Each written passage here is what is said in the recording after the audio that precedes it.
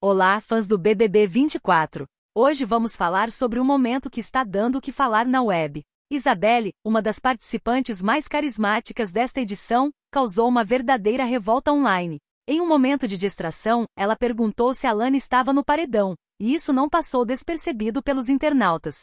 A sonsa Isabelle, como foi apelidada, parece que ainda não se deu conta da situação tensa que Alana enfrenta na casa. Mas nem tudo é polêmica. Na tarde deste sábado, dia 21, tivemos um momento especial no programa. Os quatro finalistas foram chamados ao confessionário pela produção para uma conversa sobre suas jornadas no reality. Isabelle, sempre autêntica, foi a primeira a compartilhar suas emoções. A Manauara não escondeu suas lágrimas ao relembrar sua trajetória. Todo mundo vai participar. Acho que não posso falar. Coisa simples. Legal? De falar da tua participação aqui dentro e tal.